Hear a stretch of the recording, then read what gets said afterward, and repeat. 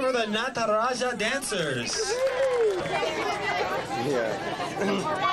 that, that was not going to go over well with certain people. Yeah, sorry.